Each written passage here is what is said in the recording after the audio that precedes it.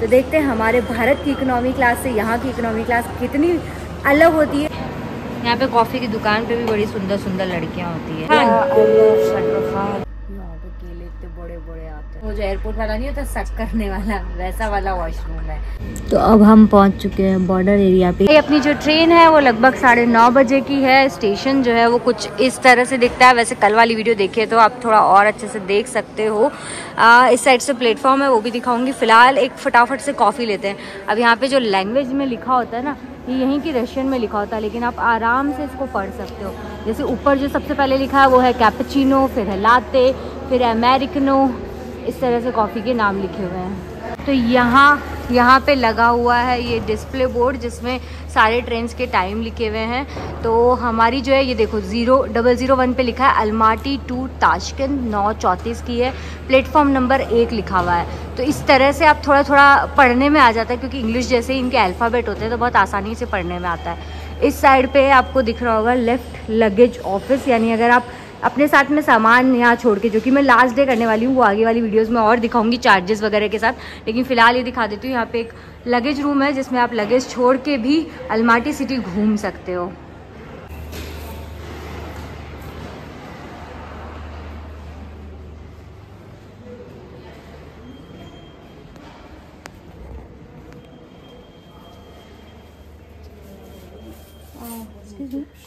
Uh, how much for one bag? One bag.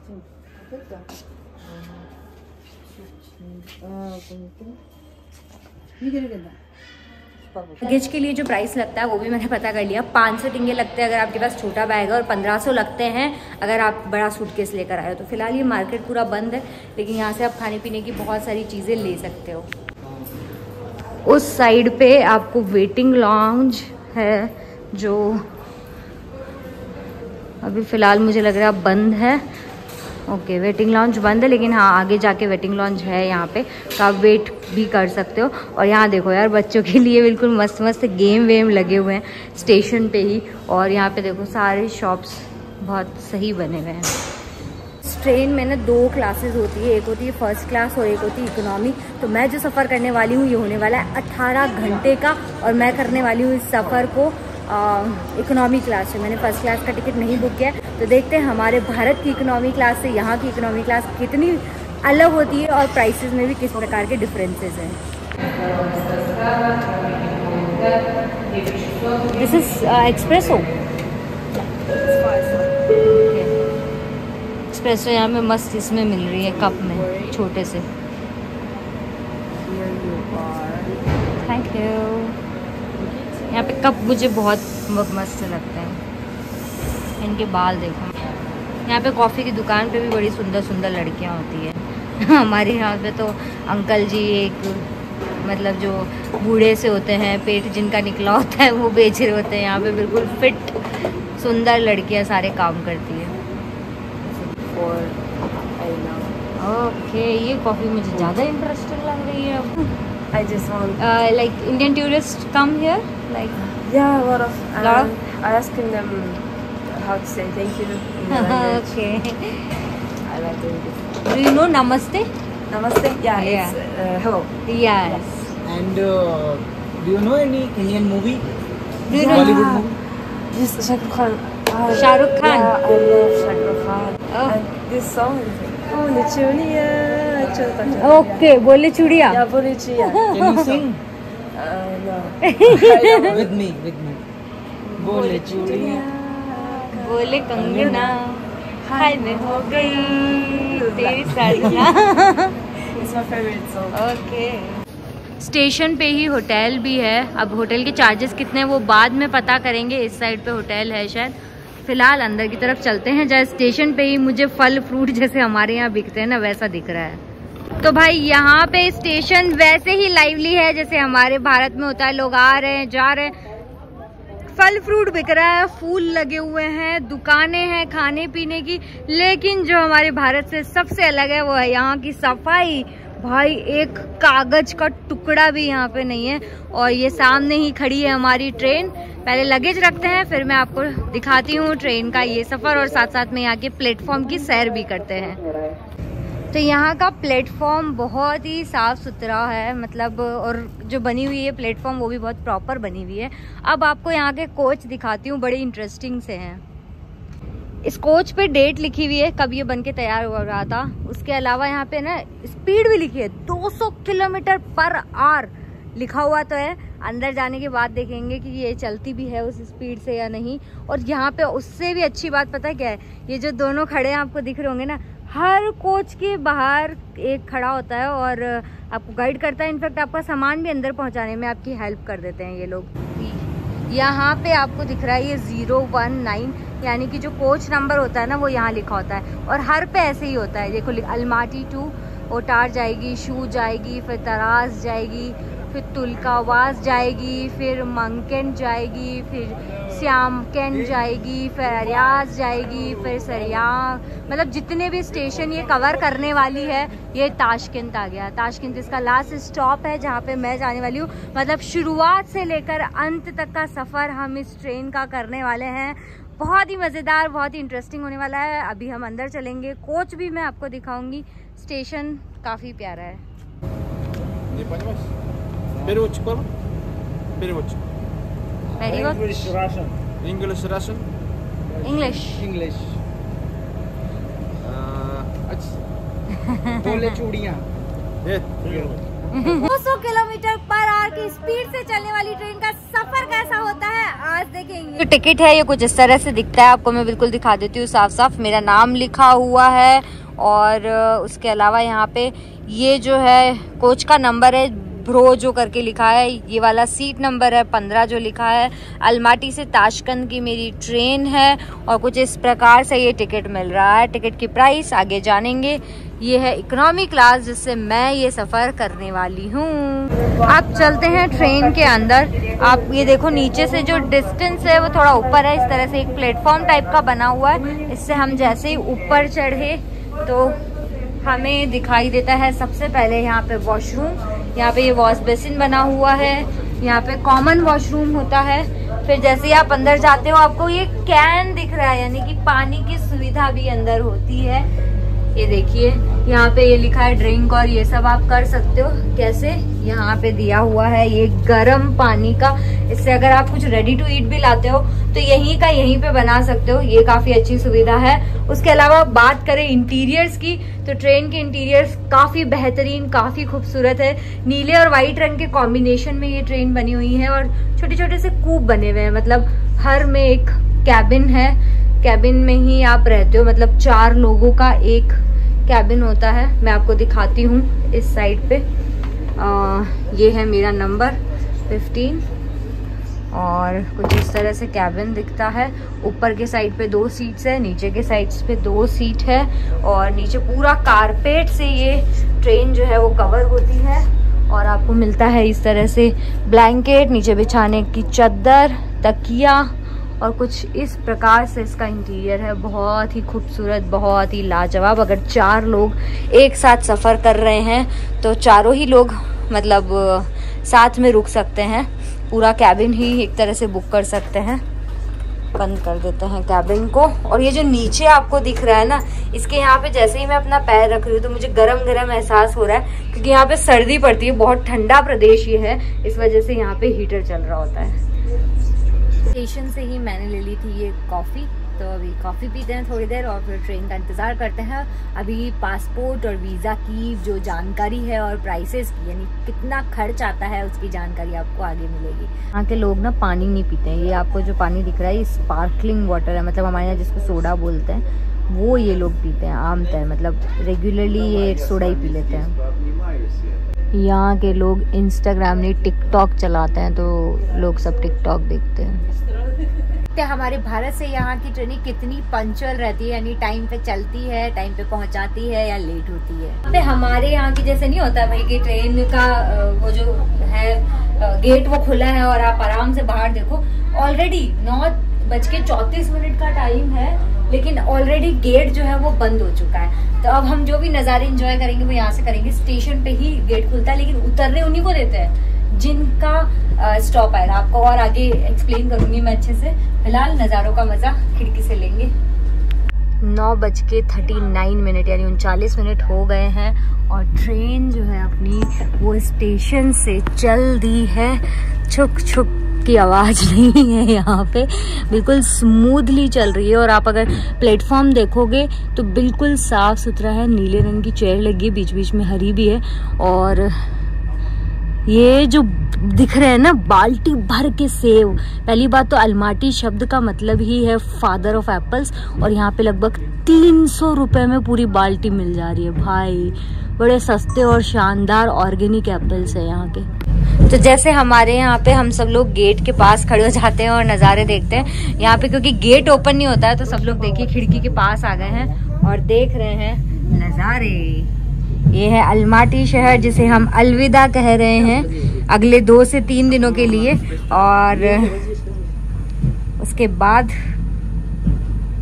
पहुँचेंगे नए शहर, नए देश में। तो ट्रेन अपनी शुरू हो चुकी है। फटाफट से एक बार वॉशरूम देखते हैं कि यहाँ के वॉशरूम्स कैसे होते हैं। वेस्टर्न है, अंदर वॉश बेसिन भी है, और बिल्कुल एयरपोर्ट जैसा यहाँ का होता है। बायो वाला और, बायो वाला नहीं होता है मतलब यहाँ पे जो एयरपोर्ट वाला होता है ना, वैसा ये वॉशरूम है। बायो टॉयलेट्स नहीं लगे हुए हैं। यहाँ पे हर जगह पे ये डस्टबिन लगा होता है और इस साइड पे दूसरा कोच है। कोच इस तरह से कनेक्टेड है। मतलब नीचे कुछ नहीं दिखाई देता, बिल्कुल क्लीन तरीके से बिल्कुल इस तरह से ये कनेक्टेड है।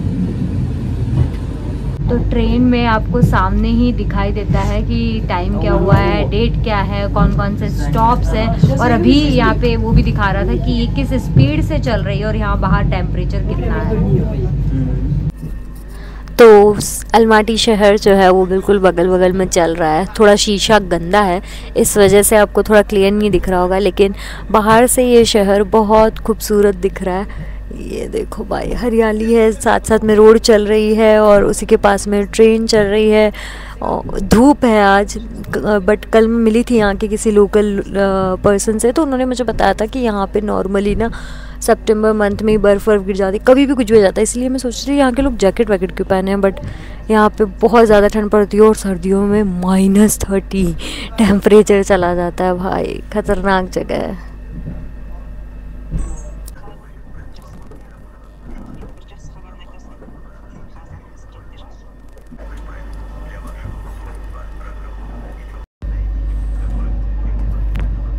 भाई, अभी मेरे हाथ में जो करेंसी है, ये है उज़्बेकिस्तान की करेंसी और ट्रेन में ही ये भाई जी हैं यहाँ पे एक जो ये एक्सचेंज कर रहे हैं। इन्होंने मुझे दिया है जो रेट दिया है मतलब अगर गूगल पे चेक करते हैं तो एक सौ बावन का रेट है। लेकिन इन्होंने एक सौ बयालीस के करीबन दिया है मतलब थोड़ा सा नुकसान है, लेकिन वहाँ क्योंकि मैं लेट नाइट पहुँचूँगी, इसलिए मैंने सोचा यहीं से करा के चलते हैं। ये उज्बेकिस्तान के नोट है, ये भी मुझे कागज़ की लग रहे हैं डिजिटल नोट नहीं है। ये पाँच हज़ार का है, ये पाँच का है और ये इस तरह से ये नोट मैंने ले लिया है। तो आपको ये ब्लैंकेट जो मिलती है इसी के नीचे पहले से ही एक सफ़ेद रंग की चादर बिछी होती है। साइड में ये टॉवल रहता है और पिलो कवर रहता है जिसको आप लगा लो और बस अब आराम से सो जाओ।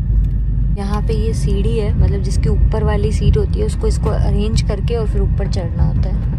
यहाँ पे जो ये सीढ़ी लगी हुई है ना, ये परमानेंट नहीं है। आप इसको हटा के साइड में रख देते हो जब चढ़ना होता है तो ऊपर इसको वापस फिट करते हो इस तरह से और ऊपर चढ़ जाते हो। अब ये सीढ़ी देखते हैं, हटाते हैं। साइड में ऐसे सीढ़ी वापस फिट हो जाती है और आपको जब ऊपर चढ़ना है तो रख लो, नहीं चढ़ना है तो वापस साइड में रख दो।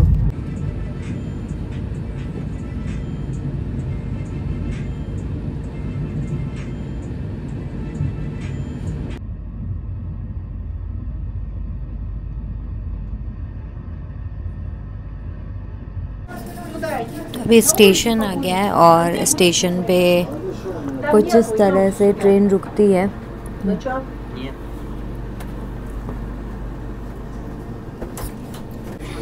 तो क्योंकि ट्रेन में ना यहाँ पे स्मोकिंग वगैरह अलाउ नहीं होती है तो वैसे स्टेशन पे बाहर उतरे स्मोकिंग वगैरह कर रहे हैं। छोटा सा ही स्टेशन है ये भी।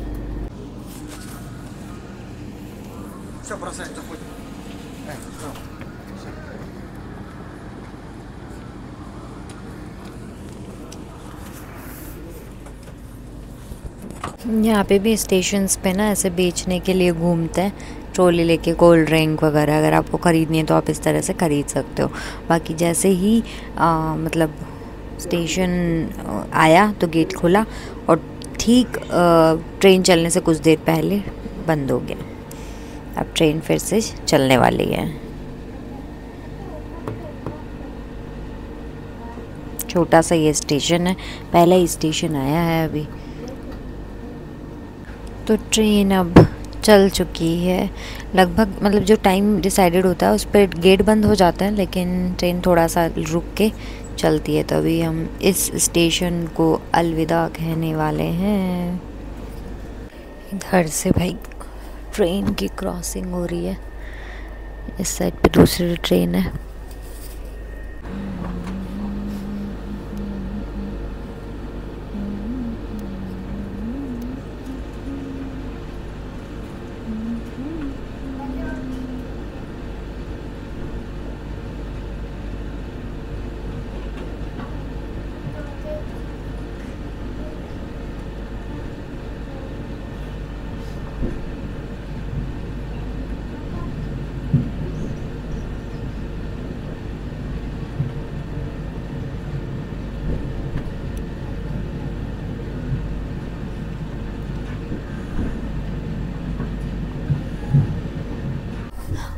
तो मुझे बहुत ज़ोरों की भूख लग रही है तो मैं अपना बैग जो पिटारा है वो खोलती हूँ और कुछ खाती हूँ।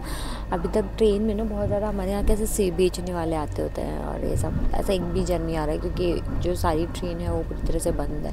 सिर्फ़ स्टेशन पर ही मतलब कुछ लोग आते हैं। तो मैं अपने साथ जुलाई हूँ थेपला वेपला कुछ कुछ वो खोलते हैं, थोड़ा बहुत कुछ खाते हैं और नज़ारों का मज़ा लेते हैं। लैंडस्केप बिल्कुल चेंज हो गया मतलब गर्मी मुझे फील हो रही है कि ज़्यादा हो रही है। वैसे भी जैसे जैसे आप उज़्बेकिस्तान की तरफ़ बढ़ते हो ना तो गर्मी बढ़ती जाती है। अलमा मतलब अलमाटी के कंपैरिजन में काफ़ी गर्म रहता है। अब जो अगर बात करें लैंडस्केप्स की तो पहाड़ बहुत दूर हैं और आगे सारा ना पीली पीली पत्तियाँ सी दिख रही हैं। हालाँकि स्टेशन बहुत साफ़ सुथरा है भाई गजब सफ़ाई है। यहाँ पे मैंने देखा था अलमाटी में तो रात को हर रात को आ, रोड के रोड ही धो देते हैं यार मतलब रात को पानी से वो सप्लाई होता है और पूरी सड़कें धो दी जाती है, इसलिए मिट्टी बिल्कुल भी नहीं उठती है और बिल्कुल साफ़ सुथरी रहती है जगह। तो मैं लाई हूँ अपने साथ में ये पिका जी का मिनी समोसा और ये सॉस भी मैं वहाँ से लाई हूँ क्योंकि यहाँ के सॉस में भी सारा अंडा मिला रहता है। तो अब ये पिका जी के समोसे और उसके साथ सॉस का थोड़ा मज़ा लेते हैं और फिर वापस थोड़ी देर आराम करेंगे।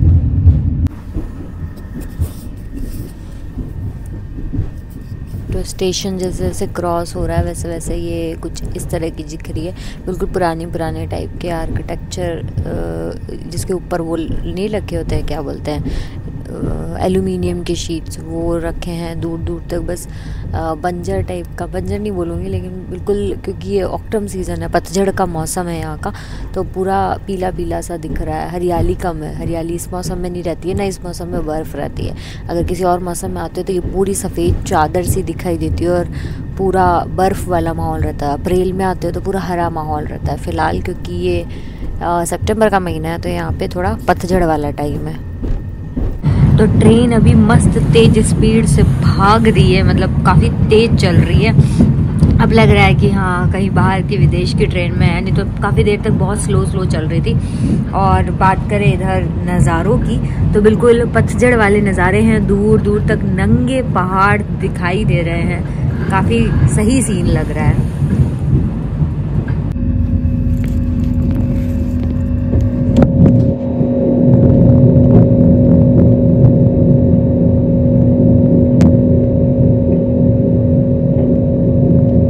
अभी जो रास्ते हैं ना, ये बिल्कुल पटरी के पास में ऐसे पहाड़ चल रहे हैं, बिल्कुल सूखे सूखे से रास्ते, और ऐसा लग रहा है बिल्कुल अलग ही दुनिया में आ गया मतलब अलमाटी में जहाँ बिल्कुल अलग ही लग रहा था, अब जैसे जैसे आगे की तरफ़ बढ़ रहे हैं वैसे वैसे थोड़ा गर्मी वाला और अलग मौसम सा दिखाई देने लग रहा है। 45 किलोमीटर पर आर की स्पीड से अभी ट्रेन चल रही है। तेरह तेरह एक बज के मतलब एक लगभग बज गया है। टाइम बिल्कुल क्लियरली यहीं पे ट्रेन में लिखा हुआ है। सुबह साढ़े नौ बजे चले थे, अभी तक सिर्फ़ तीन स्टेशन पे ट्रेन रुकी है। और बाहर के नज़ारे कुछ ऐसे हैं।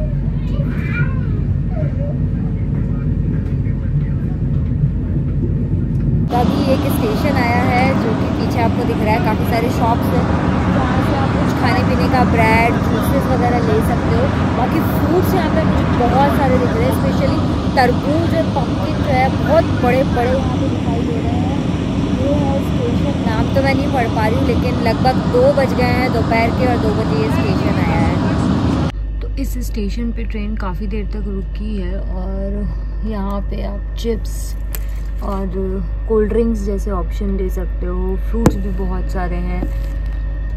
ये देखो, स्टेशन ऐसा है, प्लेटफॉर्म बिल्कुल मिट्टी का बना हुआ है और जैसे बाहर निकलो तो शहर आ जाता है। ट्रेन अब स्टेशन से चल पड़ी है।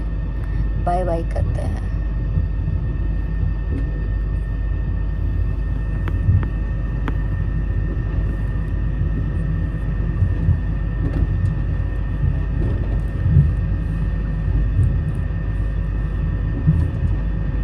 तो भाई जो बाहर लिखा था ना कि 200 किलोमीटर प्रति घंटे की रफ्तार से ट्रेन चलती है, ऐसा कुछ भी नहीं है। 80 से 100 के बीच से ऊपर ये ट्रेन अभी तक तो नहीं चली है। काफ़ी स्लो मोशन में चल रही है, शहर से चल निकल रही है और कुछ ही टाइम बाद में कज़ाकिस्तान ख़त्म होगा और हम उज़्बेकिस्तान के बॉर्डर में एंटर करेंगे।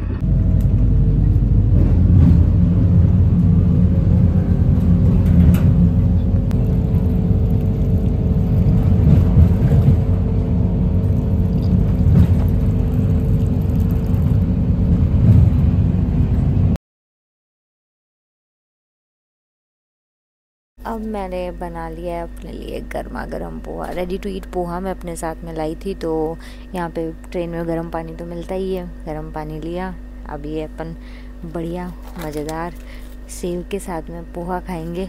और बिल्कुल पास में गुड्स खड़ी है। यहाँ की जो मालगाड़ियाँ होती है, वो हमारे से अलग होती है। और ट्रेन की क्रॉसिंग होती है। भाई, क्या मालगाड़ी है। ऊँची, बड़ी ऊँची ऊँची मालगाड़ियाँ होती हैं यहाँ पे।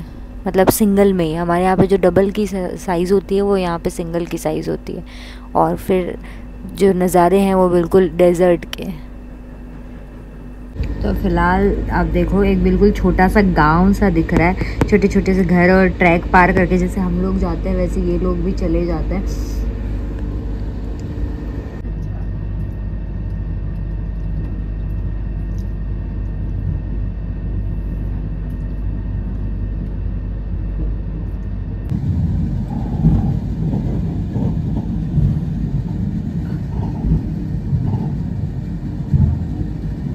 अब यहाँ से मुझे ना पेट्रोल के कुएँ टाइप के और पेट्रोल की काफ़ी सारी चीज़ें दिख रही है।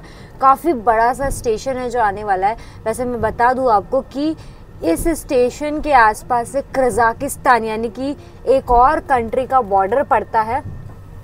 यहाँ से बिल्कुल पास से ही पटरी गुजर रही है और दूर दूर ऑयल की रिफाइनरीज दिख रही है। बड़े बड़े से टावर लगे हुए हैं। काफ़ी बड़ा सा शहर है जो आने वाला है और इसी शहर के पास से पड़ता है कज़ाकिस्तान का बॉर्डर, यानी कज़ाकिस्तान, फिर कज़ाकिस्तान और फिर उज़्बेकिस्तान। वैसे तीन कंट्री को नहीं कवर करती है, ये सिर्फ़ बॉर्डर का विलेज है, अचानक से भेड़े दिखने लगी है। तो जो टेम्परेचर है, वो यहाँ पे गर्म ही रहता है मतलब बहुत ज़्यादा ठंडा नहीं है। जब आप दिसंबर के मंथ में आओगे, तभी सिर्फ़ ठंडा लगता है। शहर का इंतज़ार कर रही हूँ मैं कि कब आएगा। ट्रेन की स्पीड यहाँ पे अचानक से कम होगी, क्योंकि अभी बिल्कुल फास्ट स्पीड से ट्रेन चल रही है। अभी जो है, दूर मुझे दिखाई दे रहे हैं पहाड़। पहाड़ भी बहुत अलग है। मतलब पीछे की तरफ़ जहाँ पे ये पहाड़ दिख रहे हैं नॉर्मल आगे की तरफ़ सैंड्यूज जो आपको लद्दाख और राजस्थान के जो रेतीले टीले होते हैं ना, वैसे लग रहे हैं। बाकी अगर बात करी जाए वनस्पति की तो वनस्पति बिल्कुल अलग है। ये जो पेड़ दिख रहे हैं, ये बिल्कुल भी डेजर्ट वाले नहीं है। मतलब बहुत अलग ही तरह का भौगोलिक रूप से यहाँ पर है, क्योंकि वनस्पति अलग है। पहाड़ भी दोनों बिल्कुल अलग है। एक तरफ़ जहाँ हरे पहाड़ है, दूसरी तरफ़ बिल्कुल सैंड्यून्स है। तो काफ़ी अलग चीज़ें हैं। बाकी अब स्टेशन आने ही वाला है। जो एक और बॉर्डर विलेज सॉरी, विलेज तो क्या बोलूँगी? बॉर्डर सिटी है। बॉर्डर का गाँव है। तो पहुँच रहे हैं उसकी तरफ़। समय हो गया है तीन बजकर सत्तावन मिनट का। और लोग की चहल पहल बिल्कुल बनी हुई है यहाँ पे। 29 डिग्री 83 किलोमीटर पर आवर की स्पीड से फ़िलहाल ट्रेन चल रही है। तो ये जो ट्रेन है यहाँ पे आप देखो सारे स्टेशन लिखे हुए हैं। अलमाटी से ताशकंद के बीच में लगभग नौ स्टेशंस को ये कवर करती है। 18 घंटे का ये पूरा सफ़र है। नौ बज के चौंतीस मिनट पर शुरू होता है और दो बज के तिरपन मिनट वहाँ का आ, जो समय है वहाँ पे ये कंप्लीट करती है अपनी जर्नी को। और यहाँ पे सब कुछ लिखा हुआ है कि पाँच बज के नौ मिनट पर क्या आएगा? छः बज के छत्तीस मिनट। पूरा समय सारणी यहाँ पे बनी हुई है कि कितने कितने आ, देर के बाद और ये भी लिखा हुआ है कि कहाँ कहाँ पे कितना कितना हॉल्ट है। एक जगह जहाँ सात मिनट है फिर दस मिनट है फिर दस मिनट है और इस प्रकार से कुछ हॉल्स भी यहाँ पे लिखे हुए हैं। सब कुछ यहाँ पे रशियन में लिखा है लेकिन थोड़ा लेटर्स ना आसपास में है तो थोड़ा थोड़ा समझ आता है।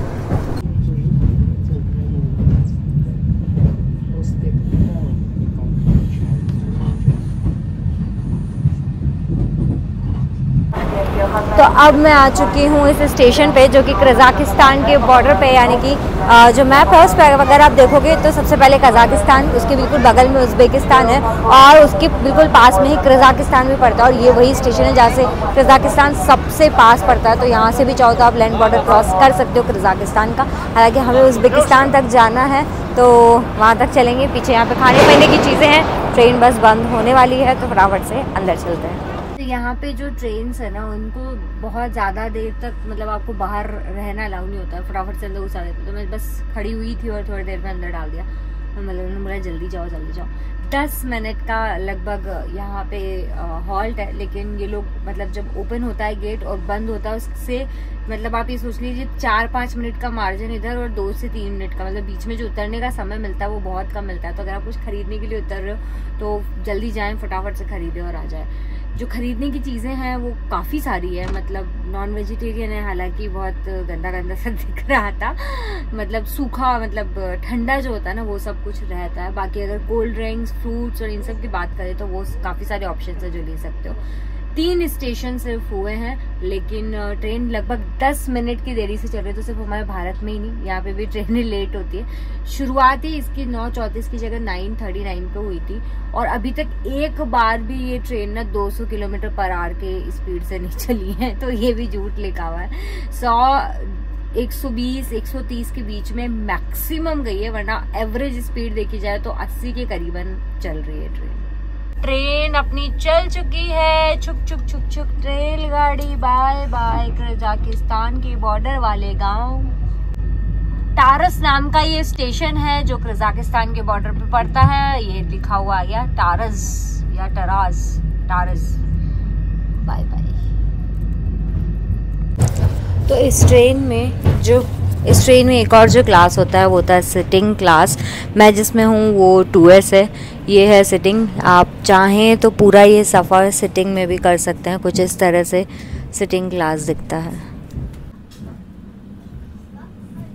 तो जो सिटिंग क्लासेस की सीट है काफ़ी कंफर्टेबल है। लेग स्पेस आप देखोगे तो काफ़ी अच्छा है। लगेज रखने का जो स्पेस है वो भी काफ़ी सही है।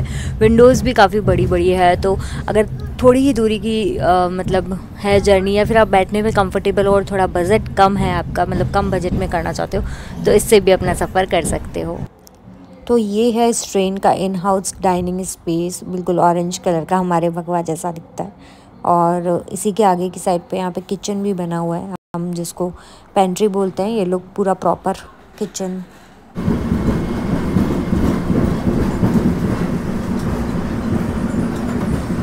ट्रेन में मैं ऐसे ही डोल रही हूँ इधर उधर यहाँ का जो सेकंड सीटर है उसमें मेरी टिकट है और जो बैठने वाला है वो भी मुझे बहुत अच्छा लगा।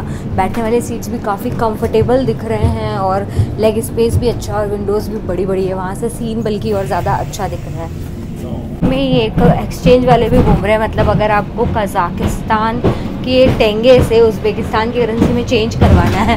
तो ट्रेन में हालाँकि रेट कम मिल रही है, लेकिन फिर भी थोड़ा सा अगर अपने पास रखना है तो ट्रेन में करवा के रख लो, क्योंकि ये ट्रेन काफ़ी लेट नाइट आपको पहुँचाती है। और उस टाइम पर टैक्सी वगैरह के लिए जो थोड़ा बहुत अमाउंट पे करना है, उसके लिए सही ऑप्शन है।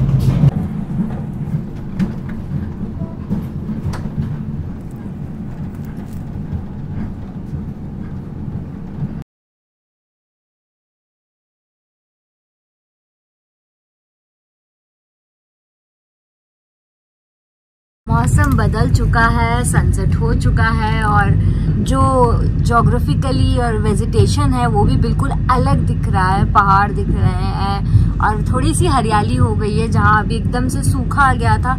अभी फिर से जो लैंडस्केप्स हैं, जो भौगोलिक संरचना है वो पूरी तरह से बदल चुकी है।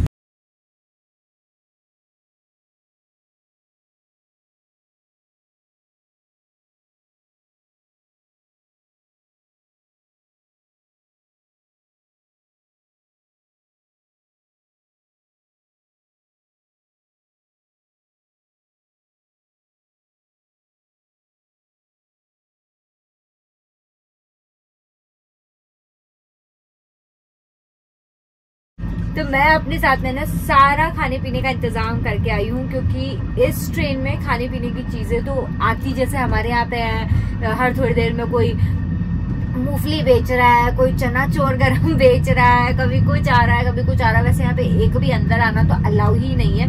उसका एक और रीजन है, हमारे यहाँ बहुत सारे शहर होते हैं, बहुत सारे गाँव होते हैं बीच बीच में, क्योंकि आबादी बहुत ज़्यादा है। अब यहाँ पे आबादी इतनी कम है, इस वजह से पूरे के पूरे मतलब ये समझ लो, देश ही खाली सा ही पड़ा है। अब कितनी दूर से हम आ रहे हैं, लेकिन आधे से ज़्यादा रास्ता जो है वो खाली सा ही लग रहा है। अभी जितना भी लैंडस्केप आ रहा है, वो बिल्कुल चेंज हो चुका है, जहाँ पहाड़ पहले बहुत दूर थे और मिट्टी वाले पहाड़ थे, वहीं अब पहाड़ बिल्कुल पास आ गए। इनको मैं पहाड़ नहीं बोलूँगी, ये जो डूंगर बोलते हैं, हम लोग तो पता नहीं मारवाड़ी हम लोग तो मारवाड़ी में डूंगर बोलते हैं मतलब जो चढ़ने लायक होता है छोटा सा पहाड़ होता है, बहुत ऊँचा नहीं होता क्योंकि पहाड़ बहुत ऊँची है, उसको बोला जाता है। तो ये छोटा सा है, इस पे चढ़ सकते हैं, इस तरह का कुछ दिख रहा है और हरा भरा है। बीच बीच में कैनाल, सारी है सनसेट का व्यू बहुत प्यारा लग रहा है। मतलब अब फाइनली सुंदरता देखने को मिली है।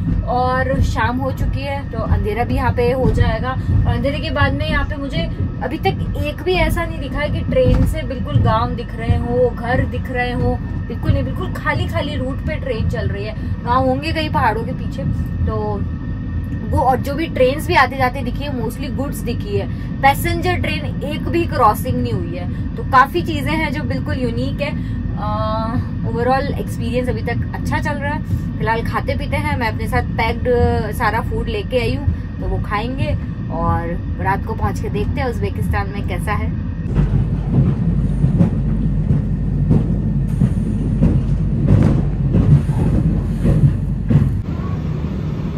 तो अभी स्टेशन आया है और यहाँ पे देखो, हर स्टेशन के बाहर ऐसे ही फल की जो है ना दुकान लगी रहती है। पूरी बाल्टी भर के यहाँ पे एप्पल वैप्पल मिल रही है।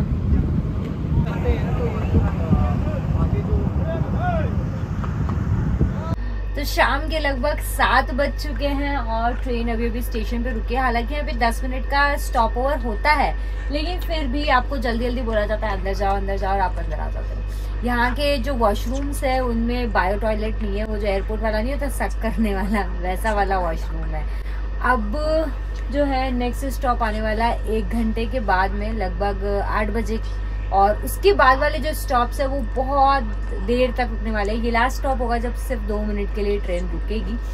और अंधेरा हो चुका है। बस यही अपडेट है। और हाँ अगर शुरू में मैंने आपको बोला था, देखेंगे टाइम पे चल रहे या नहीं चल रहे अभी तक ऑलमोस्ट टाइम पर ये बहुत ज़्यादा डिले नहीं है ट्रेन का। लेकिन अगर बात की जाए कि इंडियन रेलवे बेटर है या यहाँ की रेलवे बेटर है आई से इंडियन रेलवे विंस क्योंकि इतनी आ, मतलब ज़्यादा लोग उसमें जर्नी करते हैं उसके बावजूद भी वहाँ की जो फैसिलिटीज़ है सीट्स का कंफर्ट है और बाकी सारी भी सुख सुविधाएँ हैं उसका अपना ही मज़ा है एक तो सारी चीज़ें मिलती रहती है वो भी मैं बहुत ज़्यादा मिस कर रही हूँ यहाँ पर कुछ भी नहीं आ रहा है। जो सीट होती है, जो अभी यहाँ पे लगी हुई रहती है नॉर्मली वो बिल्कुल ऊपर भी उठ जाती है। मतलब आप इसको इस तरह से भी पूरा बना सकते हो। और चाहो तो यहाँ से टेम्परेचर भी कंट्रोल कर सकते हो। ये जो आपको दिख रहा है जो एक साइड पे ब्लू है, ये वाला ब्लू है और रेड है। रेड वाले साइड पे वार्म होता है और ब्लू वाले साइड पे आपका टेम्परेचर जो है वो थोड़ा कूल हो जाएगा। उसके अलावा ये जो शीशे हैं, ये भी काफ़ी बड़े बड़े हैं, क्योंकि अगर कोई भी इमरजेंसी होती है तो इसको फोड़ के बाहर जा सकते हो। और सिगरेट पीना इन लोगों ने स्ट्रिक्टली प्रोहिबिटेड है हमारे इंडिया की। जैसे नहीं अलार्म बच जाता है, इसलिए जब भी ट्रेन रुकती है, तभी लोग बाहर सिगरेट फूकते हुए दिखाई देते हैं। और और तो यहाँ पे क्या है? और हाँ सबसे इंपॉर्टेंट बात यहाँ के वॉशरूम्स में वो जो स्प्रे होता है जेट स्प्रे वो नहीं है, जिसकी वजह से इंडियंस को प्रॉब्लम हो सकती है और चार्जर भी पूरे कंट्री में ही, यहाँ पे अब जब भी आओ तो ये यूनिवर्सल अडाप्टर है, ये ज़रूर खरीद लो, वरना चाहे होटल हो, चाहे कहीं भी हो, आप चार्ज नहीं कर पाओगे। तो अब अगर देखा जाए कि इंडियन रेलवे अच्छी है या यहाँ की अगर बात की जाए, साफ़ सफ़ाई की no doubt Indian railway worst है। उससे बेकार गंदगी और क्योंकि उसके लिए रिस्पॉन्सिबल शायद हम सिटीजन ही है। कोई और तो आके उसे साफ़ रखेगा नहीं। यहाँ पे साफ़ सफ़ाई बहुत अच्छी है। अब बात की जाए सीट्स के कंफर्ट की, पैसों के हिसाब से तो जहाँ हमारी स्लीपर वाली सीट जो होती है, वो थोड़ी कड़क सी होती है। तो यहाँ की जो सीट्स है, वो थोड़ी सी कड़क सी है। सेकेंड एसी और फ़र्स्ट एसी से जो उसको कंपेयर नहीं कर सकते थर्ड एसी और स्लीपर जैसी टिकट मतलब इसकी सीट्स है। तो पैसों के हिसाब से, यानी प्राइस के हिसाब से, यहाँ की सीट्स को मैं डाउन मतलब बोलूँगी कि इंडियन रेलवे उसमें जीत जाती है। बात की जाए स्पीड की ना, अगर कि कितना फास्ट भाग रही है तो भाई 200 किलोमीटर का दावा कर रही है, लेकिन ये 150 भी टच नहीं कर रही है। लेकिन हाँ टाइम पर है, क्योंकि यहाँ पे ट्रेनें चलती नहीं है, उसका एक और रीजन है। हमारे यहाँ पॉपुलेशन इतनी ज़्यादा है, इतनी ज़्यादा ट्रेन चल रही होती है, यहाँ पे मुझे पूरे रास्ते में एक भी पैसेंजर ट्रेन नहीं दिखी है। तो उस हिसाब से भी देखा जाए तो इंडियन रेलवे थोड़ी सही ही चलती है। तो मेरे अकॉर्डिंग तो इंडियन रेलवे और हाँ हमारे यहाँ पे दो दो वॉशरूम होते हैं हर कोच में। यहाँ पे एक ही वॉशरूम है। हमारे यहाँ वेस्टर्न और इंडियन दोनों होते हैं, या वेस्टर्न ही हो सकता है। कुछ लोगों को इंडियन ही चाहिए हो तो वो वाली सुविधा भी यहाँ पे नहीं है। तो काफ़ी मामलों में मुझे लगता है इंडियन रेलवे जो है, वो बहुत अच्छा काम कर रही है। बस हमें सबसे इम्पोर्टेंट सफ़ाई की ज़रूरत है। अगर सफ़ाई हो जाए तो हमारी ट्रेन वाह वाह वाह वाह वाह वाह हो जाए। रात का समय हो चुका है, लगभग आठ बज चुका है और अब आया है ये स्टेशन जहाँ पे फाइनली ऐसे लग रहा है कि कुछ बड़े शहर में आए हैं, कुछ बड़ी सिटी में आए क्योंकि हर जगह इतने छोटे छोटे से स्टेशन थे। हेलो तो हर जगह इतने छोटे स्टेशन थे कि लग ही नहीं रहा था कि कहाँ जा रहे हैं। फाइनली एक बड़ा शहर दिखा है, रोड पे चलती हुई कारें दिखी हैं और पैसेंजर्स उतरते हुए दिखे हैं। काफ़ी बड़ा स्टेशन है। और यहाँ पे स्टॉप भी है। अच्छा लग रहा है ठंडी ठंडी हवा। अंदर ना बिल्कुल ऐसे गर्म सा हो गया है, क्योंकि शायद ठंड रहती है ना, इस वजह से यहाँ पे पूरा टाइम हीटर चल रहा होता है मतलब गर्म हवा वाला। हालाँकि मैंने उसको एसी वाले पे कर दिया है स्टिल इतना गर्म लग रहा है, बाहर ठंडी हवा में आके बहुत अच्छा लग रहा है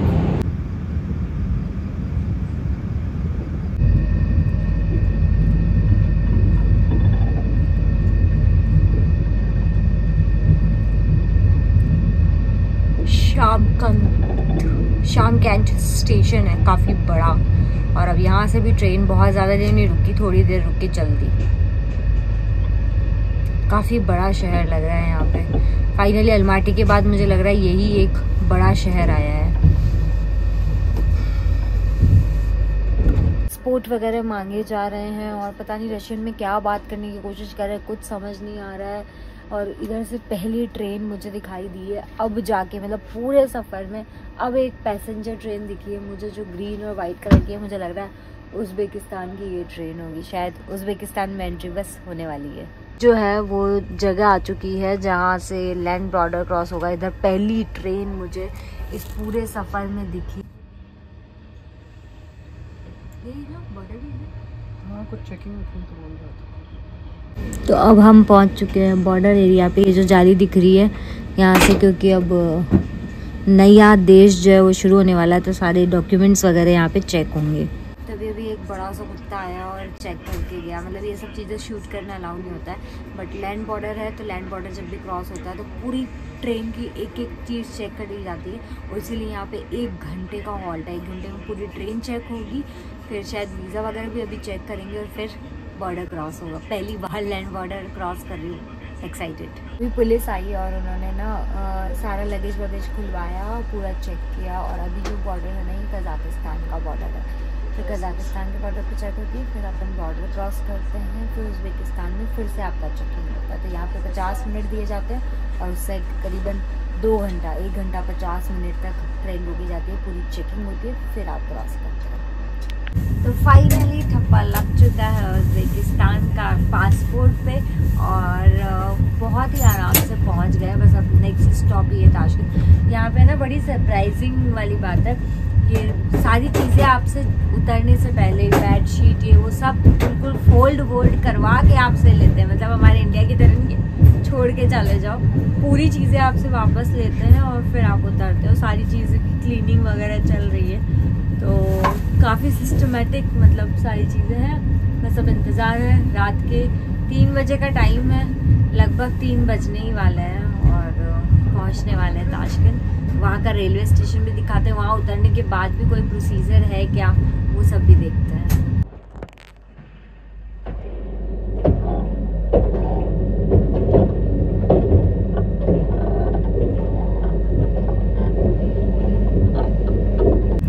तो ताशकंद आ चुका है। काफ़ी बड़ी सिटी ये है। फ़िलहाल बज गए हैं रात के ढाई। तीन बजे का समय है तो आई थिंक तीन बजे तक ही ये पूरा स्टेशन पे जाके लगेगी। सुबह साढ़े चार बजे यही ट्रेन वापस निकल जाती है अलमाटी की ओर। तो ये ट्रेन का सफ़र काफ़ी स्मूथ रहा है अभी तक। स्टेशन पहुँचते हैं और स्टेशन भी आपको दिखाती हूँ कि कैसा है और वहाँ के रिक्वायरमेंट्स भी, वहाँ के प्रोसीजर भी।